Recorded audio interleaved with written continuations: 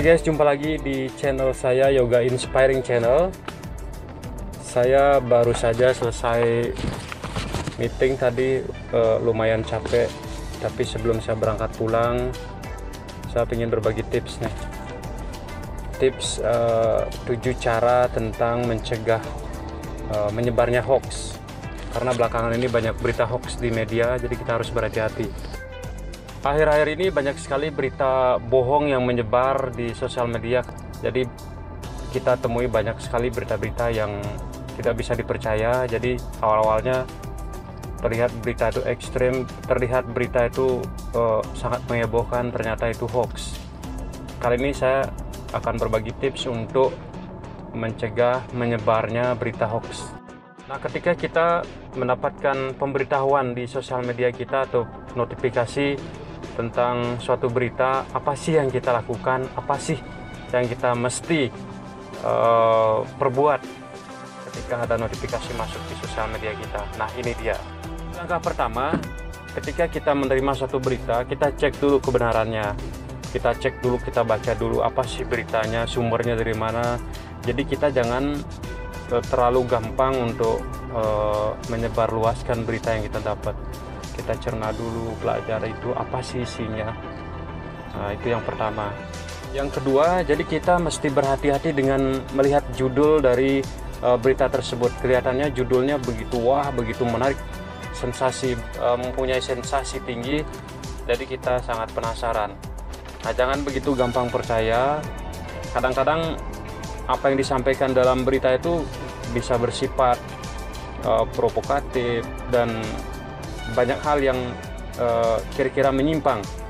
Bisa saja berita tersebut didapatkan dari media tertentu, terus di di-upload lagi, di uh, apa namanya, diterbitkan lagi menjadi satu uh, berita yang hoax dengan mengubah sedikit apa isi-isinya. Jadi harus berhati-hati.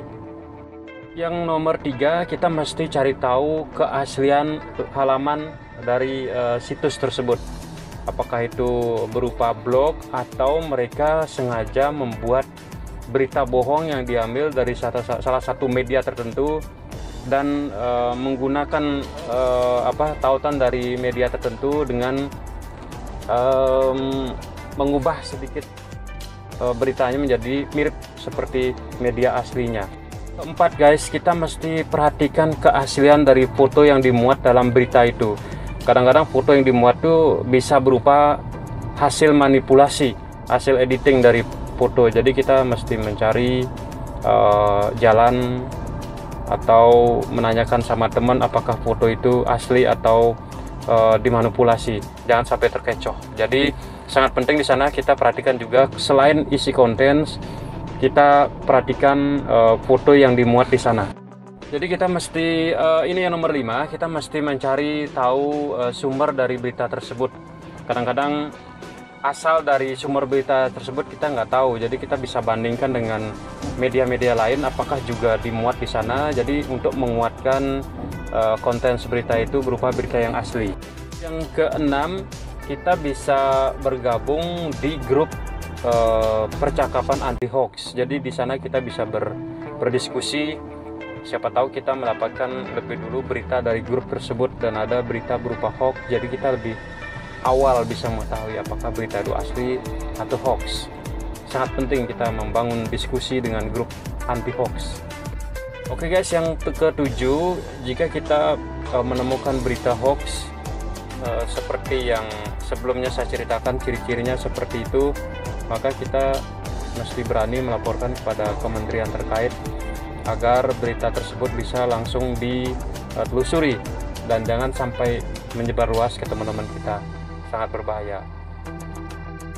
Oke guys itu tujuh uh, cara untuk uh, menangkal menyebar luasnya berita hoax. Mungkin bisa sangat uh, apa berguna bagi saya dan mungkin itu hal kecil yang bisa uh, kita semua ingat agar tidak menyebar berita hoax di sosial media yang sangat merugikan kita semua. Oke okay guys, hanya itu dari saya. Saya ingin cabut dulu untuk pulang dari kerja. Tunggu video saya selanjutnya dan jangan lupa like, subscribe dan share ke teman-teman. Oke okay, guys, see you. Good luck.